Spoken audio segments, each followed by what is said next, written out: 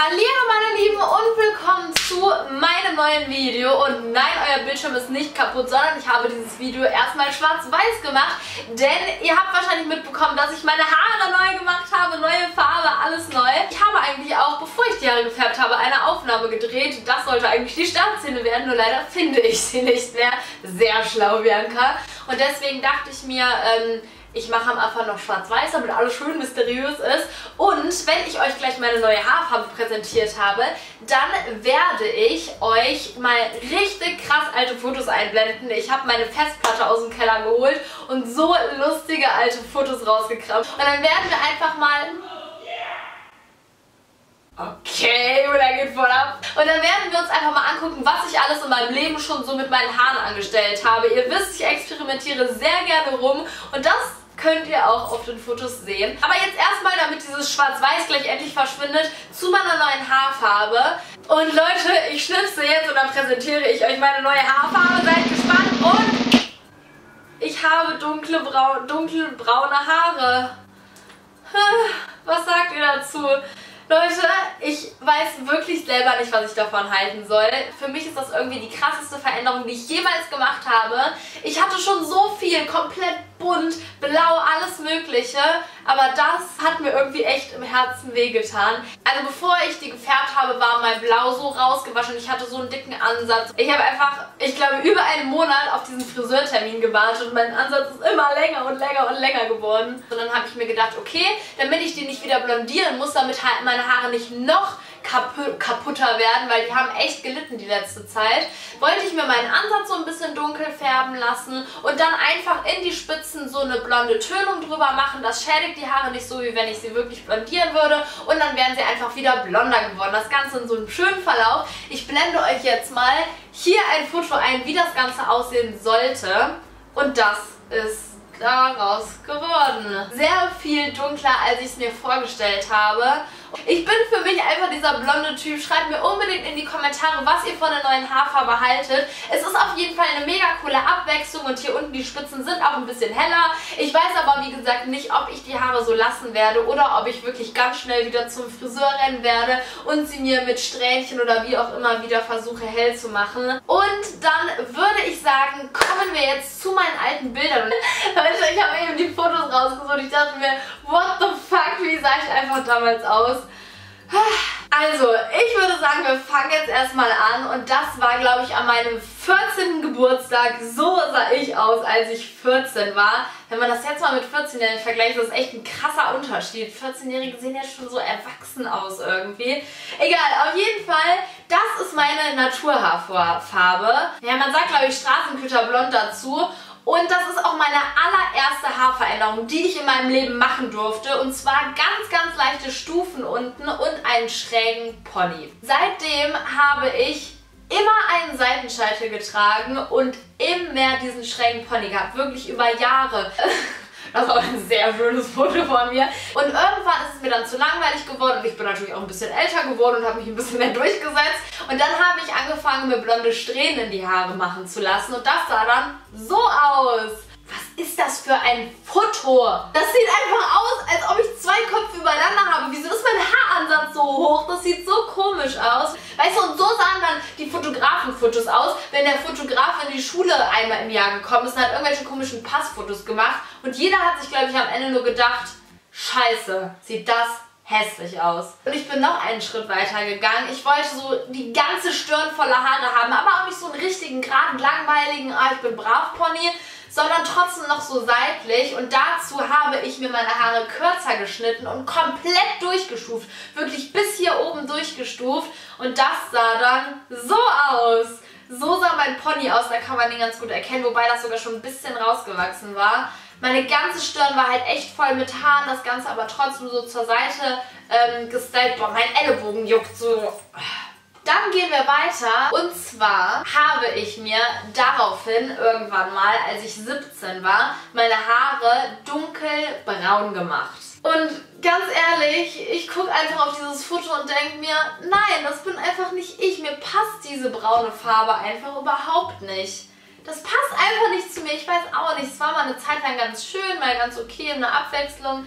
Aber ich hätte nie in meinem Leben gedacht, dass ich sie mir noch mal braun mache. Und danach wollte ich unbedingt wieder blond sein und habe wieder angefangen, mit blonde Strähnen reinzumachen. Da haben wir hier ein sehr hübsches Foto. Das war in irgendeinem Urlaub. Alter, meine Augen leuchten hier übertriebenst blau, ey. Oder hier auf dem Foto kann man das auch voll gut erkennen. Ich glaube, das ist aus dem gleichen Urlaub. Auf jeden Fall sind immer mehr blonde Strähnen dazugekommen. Tada, da könnt ihr das mega gut... Alter, was ist das für ein Foto?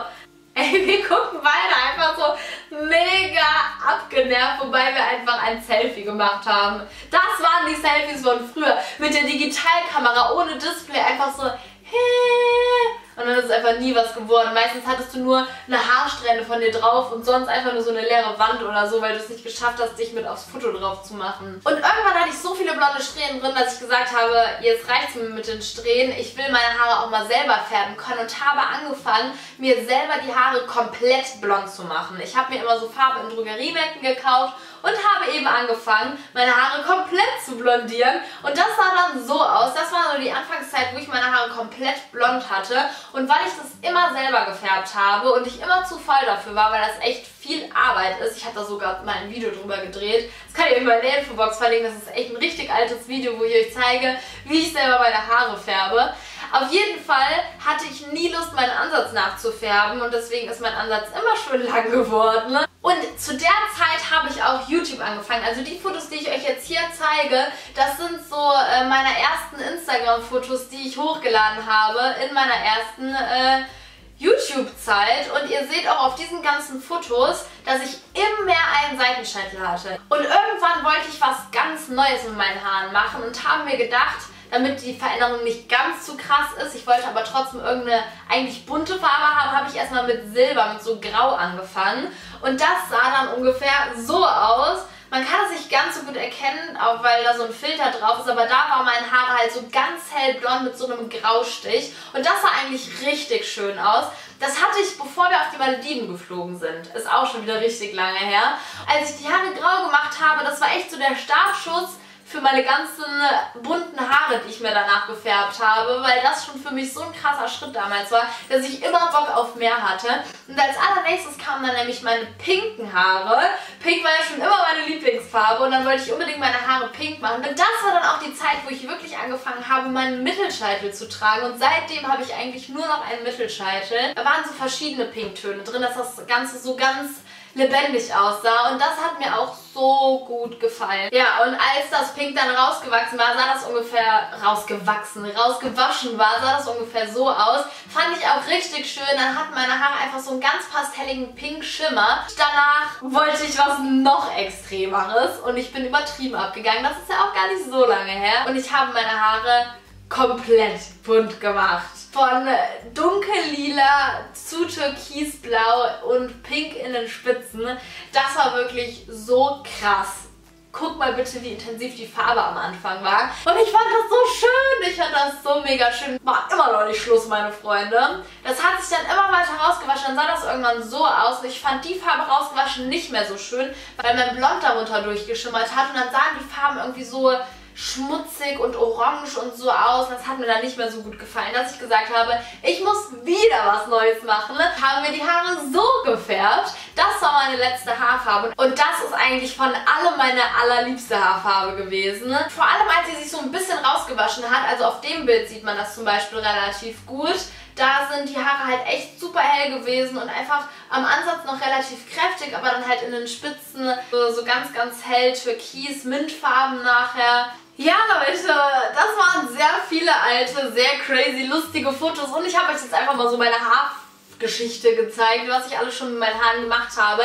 Mich würde mega interessieren, was ihr am coolsten fandet oder was euch jetzt so im Schnelldurchlauf am allergeilsten gefallen hat. Schreibt mir das mal in die Kommentare. Und jetzt habe ich nämlich noch eine Info für euch. Und zwar habt ihr bestimmt auf meinem letzten Foto, was ich euch gerade eingeblendet habe, die Splashy Melon Bilou Dose entdeckt. Und deswegen kommen wir auch nochmal ganz kurz zu Bilou. Ich habe nämlich ein paar Infos für euch. Wie ihr alle wisst, ist Cherry Blossom die erste Limited Edition gewesen und ich wollte euch nur informieren, dass die Sorte so langsam ausläuft. Also wir haben ja nur eine gewisse Anzahl produziert und ich habe die Info bekommen, dass nicht mehr so viele verfügbar sind. Das heißt, sehr, sehr bald wird es Cherry Blossom dann nicht mehr geben. So ähnlich sieht es auch mit Splashy Melon aus und das musste ich euch jetzt unbedingt sagen, weil ihr liebt Splashy Melon so sehr. Dieser Geruch ist so mega hammer bei euch angekommen. Wir haben uns allerdings dazu entschieden, Splashy Melon jetzt auch erstmal auslaufen zu lassen. Das heißt, wir produzieren keine mehr nach, denn das ist einfach für uns so ein Sommerduft. Und dann kommt erst nächstes Jahr im Sommer wieder Splashy Melon. Dann habt ihr zwar was, worauf ihr euch freuen könnt, aber auch damit ihr hier Bescheid wisst, Splashy Melon wird auch bald erstmal für einige Monate komplett weg sein, falls ihr euch nochmal damit eindecken möchtet, bevor alles ausverkauft ist. So, ich hoffe, das Video hat euch gefallen und ich bin sehr gespannt, was ihr zu meiner neuen Haarfarbe sagt. So, meine Lieben, das war es auch schon mit meinem neuen Video. Ich hoffe, ich konnte euch ein bisschen damit unterhalten, mit diesen crazy Fotos, als ich die eben rausgesucht habe. Ohne Scheiß, ich musste einfach so lachen. Auf jeden Fall verlinke ich euch natürlich auch nochmal zwei andere Videos. Hier auf der Seite gibt es einmal das Video, wie Julian mir versucht, Dreadlocks zu machen. Alter Falter. Guckt es euch an. Und auf der anderen Seite verlinke ich euch das Video, wovon ich eben gesprochen habe. Eins meiner ersten Videos, wo ich euch zeige, wie man sich selbst den Ansatz nachfärben kann. Also wenn ihr sehen wollt, wie ich mich früher so vor der Kamera angestellt habe, dann solltet ihr euch das nochmal reinzwitschern. Und sonst dürft ihr mich natürlich gerne hier oben einmal mit einem Klick kostenlos abonnieren, falls ihr keine Videos mehr von mir verpassen wollt. Würde mich auf jeden Fall sehr freuen. Und hoffentlich bis zu meinem nächsten Video. Ich wünsche euch bis dahin eine wunderschöne Zeit und sagt Tschüss!